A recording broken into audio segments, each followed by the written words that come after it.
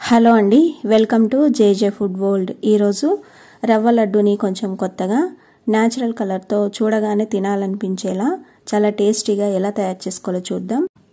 ఈ విధంగా చేస్తే రవ్వ లడ్డు చాలా బాగుంటుంది. ఒకసారి అయితే మీరు కూడా ట్రై చేసి చూడండి. ఇప్పుడు ఈ లడ్డు తయారు విధానం చూద్దాం.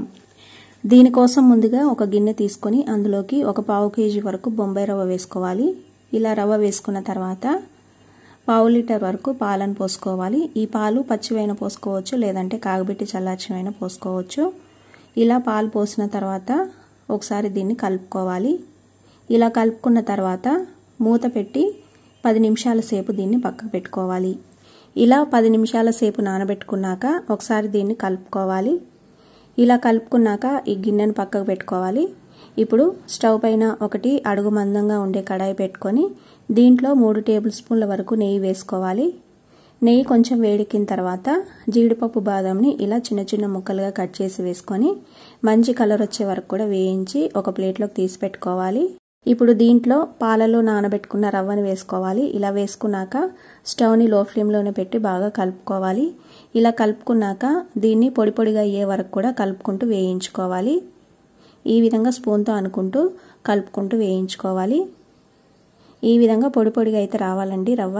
ఇలా పొడి పొడిగా అయిన తర్వాత మరొక మూడు నాలుగు నిమిషాల పాటు లో మీడియం ఫ్లేమ్లోనే పచ్చివాసన లేకుండా వేయించుకోవాలి. ఇది పొడి పొడిగా అవ్వటానికి టైం అయితే ఎక్కువ తీసుకోదండి. కలుపుకుంటూ వేయించుకుంటే చాలా త్వరగా అయితే అయిపోతుంది. ఇలా వేయించుకున్న తర్వాత ఇప్పుడు దీంట్లో హాఫ్ టీ స్పూన్ వరకు ఇలాచి పౌడర్ వేసుకోవాలి.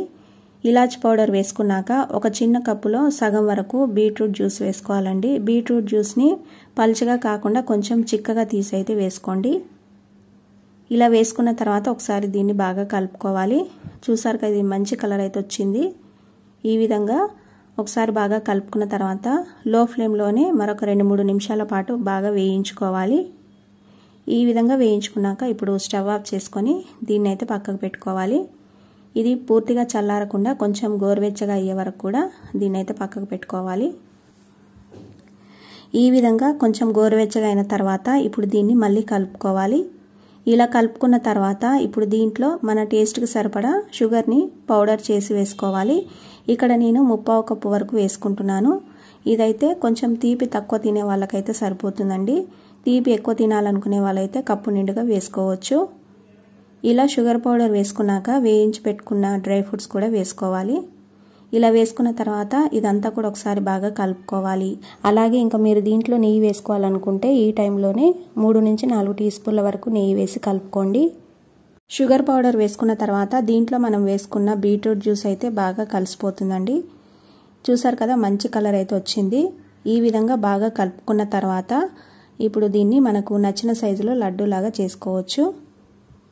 ఈ విధంగా లడ్డూలా చేసుకున్న తర్వాత ఎండు కొబ్బరి పొడి తీసుకొని దీంట్లో మనం డిప్ చేసుకోవాలి. ఈ విధంగా పైన కొబ్బరి పొడితో డెకరేషన్ చేసుకున్న తర్వాత దీన్ని ఒక ప్లేట్లోకి అయితే పెట్టుకోవాలి.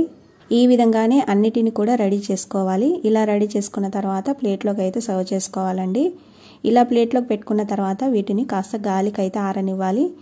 గాలి కారిన తర్వాత ఏదైనా ఒక బాక్స్లో వేసి పెట్టుకుంటే ఒక పది రోజుల వరకు కూడా నిల్వ ఉంటాయండి. అంతేనండి చూసారు కదా మంచి కలర్ఫుల్గా అలాగే టేస్టీగా రవ్వ లడ్డు అయితే రెడీ అయిపోయింది. చాలా చాలా బాగుంటుందండి ఈ లడ్డు. తప్పకుండా ట్రై చేసి చూడండి. ఈ రెసిపీ నచ్చితే లైక్ చేసి షేర్ చేయండి. అలాగే నా ఛానల్ను సబ్స్క్రైబ్ చేసుకోండి. Thanks for watching.